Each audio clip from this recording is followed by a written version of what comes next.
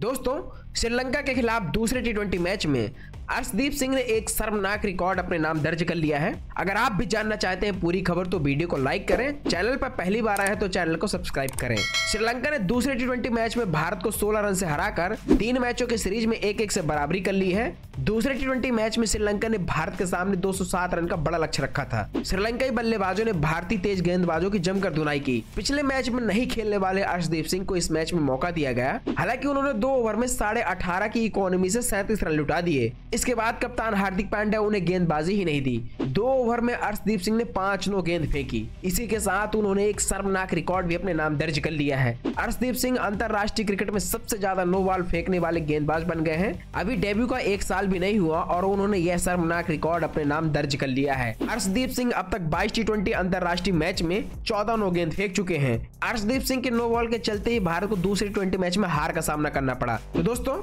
अब भारत और श्रीलंका के बीच तीसरा और निर्णायक मुकाबला शनिवार को राजकोट के सौराष्ट्र क्रिकेट स्टेडियम में खेला जाएगा।